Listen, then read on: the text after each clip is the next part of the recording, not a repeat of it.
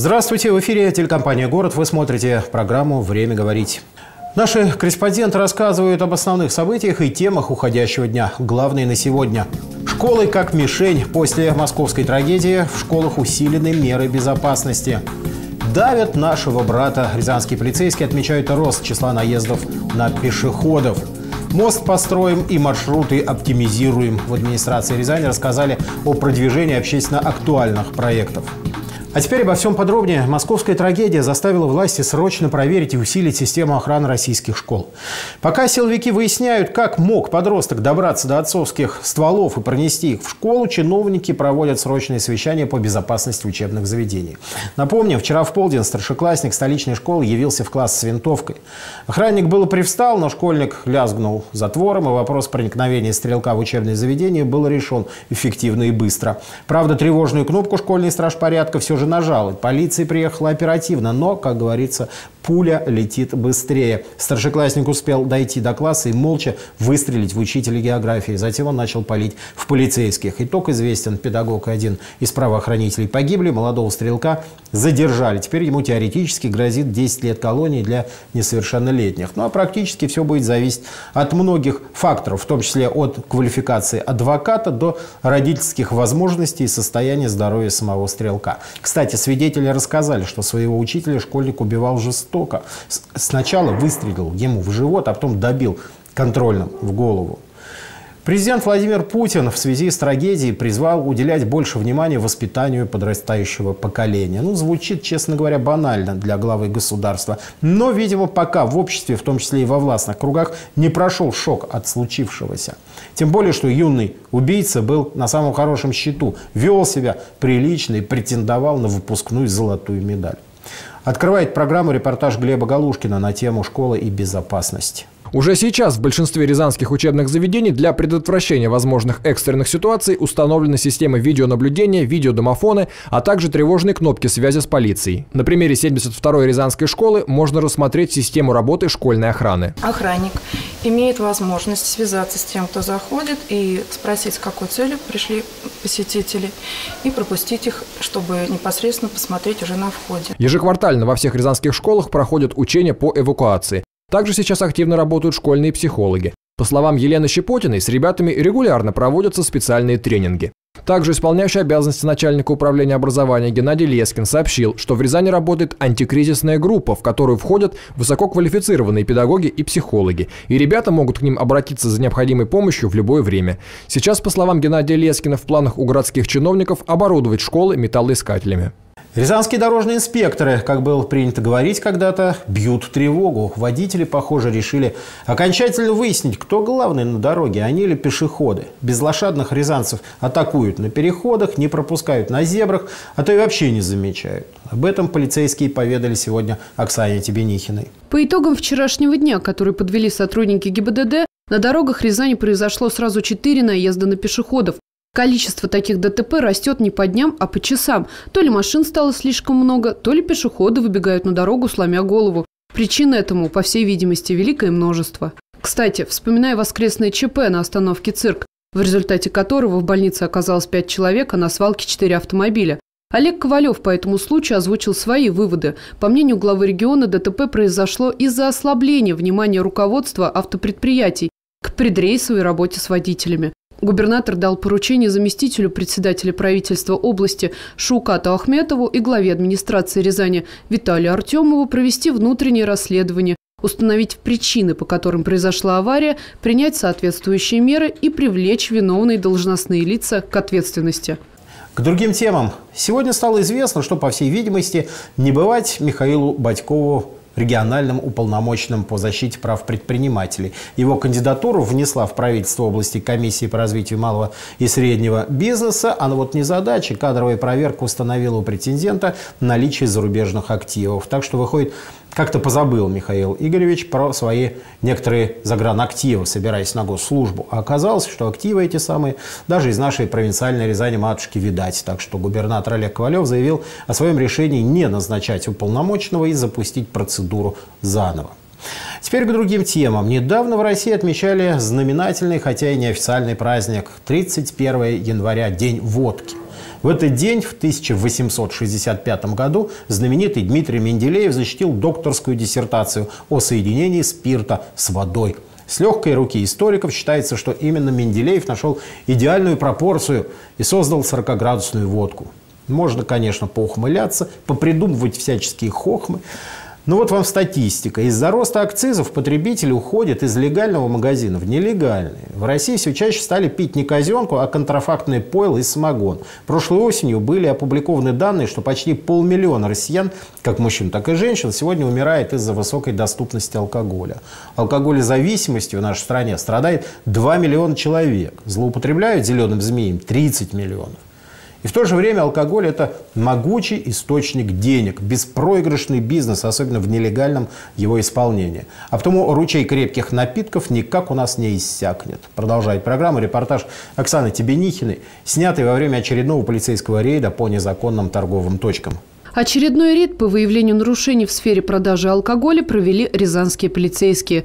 В этот раз остановились у одной из палаток в районе Дашков. На остановке «Точный вес», расположенный в Дашково песочник на улице Зубковой, в одной из торговых палаток э, был выявлен факт реализации алкогольной продукции, непосредственно пива и коктейльных напитков в нестационарном торговом объекте. В настоящий момент изъято порядка 100 литров э, пива и порядка 10 литров э, коктейлей «Черный русский». За то время, которое мы здесь находимся, э, порядка пяти человек подходило и непосредственно спрашивали о продажи э, алкогольной продукции. Кстати, как и в большинстве наших совместных с полицейскими рейдов, хозяином ларька оказалась женщина.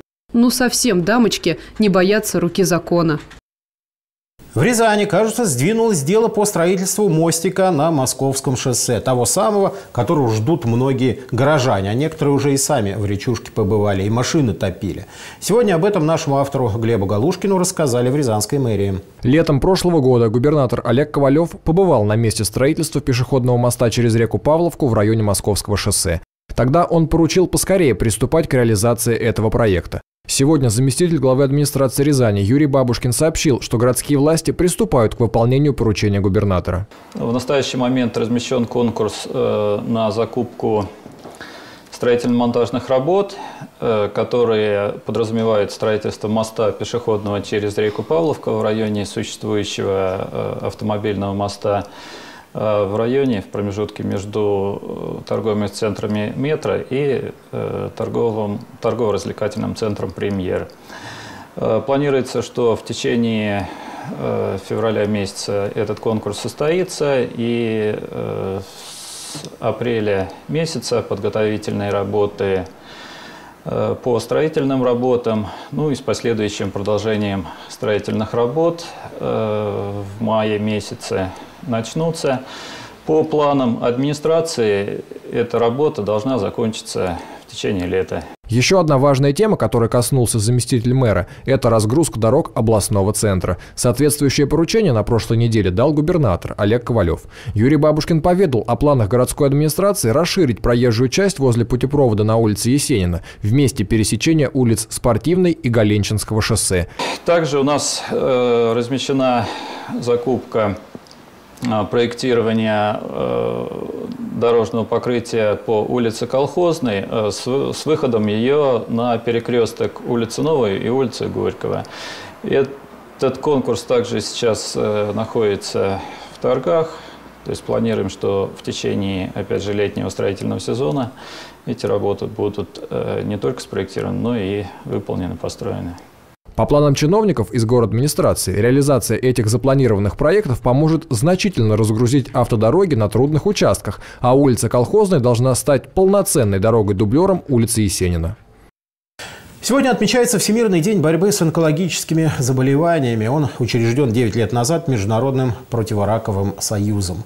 По подсчетам Всемирной организации здравоохранения, в течение следующих двух десятилетий количество случаев этого заболевания возрастет на планете на 70%. Конечно, это не те цифры, которые хотелось бы услышать, но таковы люди и такова жизнь. Дело в том, что одни онкологические заболевания развиваются в результате инфекции, а вот другие в большей степени связаны как раз с образом жизни людей. Курение, алкоголь, неправильное питание и так далее. Продолжает тему Оксана Тебенихина. Всемирный день борьбы с онкологическими заболеваниями был провозглашен с целью привлечения внимания общественности глобальной проблеме онкологии, а также информированию о том, насколько опасны и распространены подобные заболевания. В России от онкологии ежегодно умирают 300 тысяч человек. Заболеваемость раком в России не самая высокая в мире, но она растет ежегодно, примерно на полтора процента. Усугубляется ситуация тем, что пациент чаще всего тянет с визитом к врачу до последнего, а прислушиваться к своему самочувствию необходимо и очень важно. В Рязани находится единственное в регионе отделение, где от рака лечат детей. Здесь малыши находятся под круглосуточным присмотром специалистов.